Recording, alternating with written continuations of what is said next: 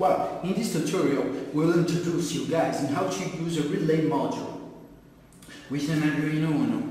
If you have another board, read the corresponding page in the link I'm leaving at GarageLab.com.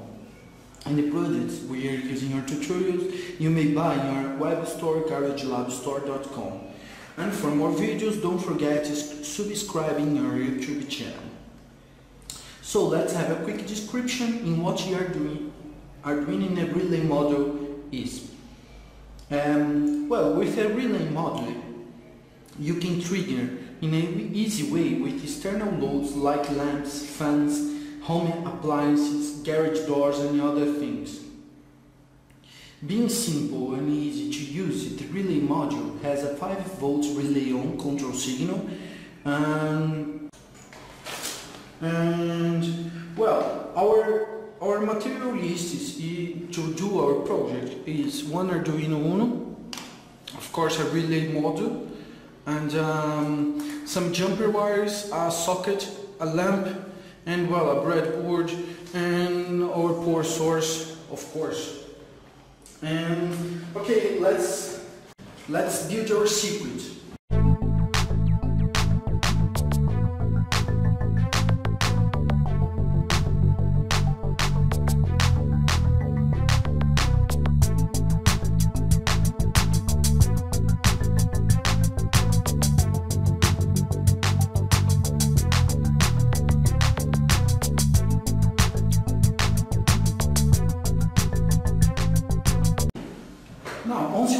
Done the circuit, let's see how a relay works.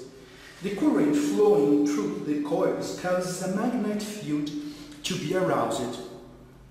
This magnetic field causes the closing of a lamp circuit. And the, when the relay is energized, the current flow will be through the lamp.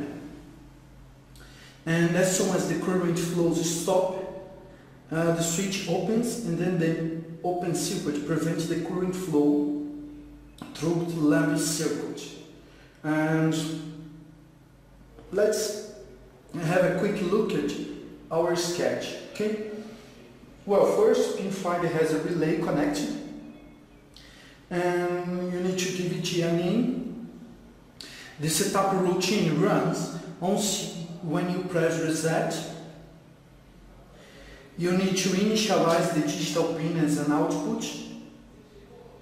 Then the loop routine runs over and over again forever, turning the relay on and turning the relay off. And uh, I will upload now my sketch and then you can see how our project works. So now you will see a quick simulation.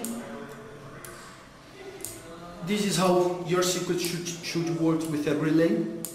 It's a simple task, but I think will be very helpful if you have a tutorial like guiding you guys. And I think it's everything. Thank you very much for watching. See you. Uh, don't hesitate in going to our social web and leave your comments.